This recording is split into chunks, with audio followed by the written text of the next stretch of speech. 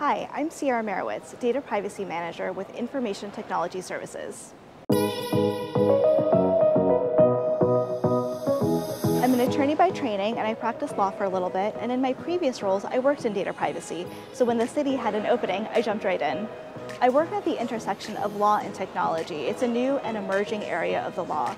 So day to day, I may be advising on the city's usage of drones or the privacy repercussions of artificial intelligence. Every day is new and exciting. I work in the business of trust. I make sure that our residents give us their data with a high level of confidence.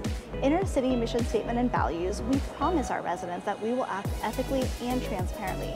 I make sure that we are accountable to our people.